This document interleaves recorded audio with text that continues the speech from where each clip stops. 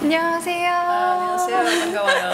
네, 사실 제가요, 그 미술 문해한데요. 이곳에 오시면 되게 이렇게 친숙하게 받아줄 수 있다고, 받아들일 수 있다고 해서요. 아, 정말요? 네. 감사합니다. 어떤 곳인가요? 지역의 어떤 문화의 그런 아, 같이 공감하고 그리고 문화 의식을 조금 더 어, 도와주는 그런 장소라고 볼 수 있어요. 이곳은 조용하게 그림을 둘러볼 수 있도록 무료로 개방한 전시관인데요. 전문 지식 없이도 관장님의 친절한 해설로 그림을 감상할 수 있습니다. 그 유리 글라스를 한지하고 이런 같이 혼합을 해서 어, 자기 작품을 하고 있는 좀 독특한 네, 그런 작가라고 볼 수가 있어요. 오롯이 자신만을 위한 여행, 나를 위해 누리는 행복한 사치입니다.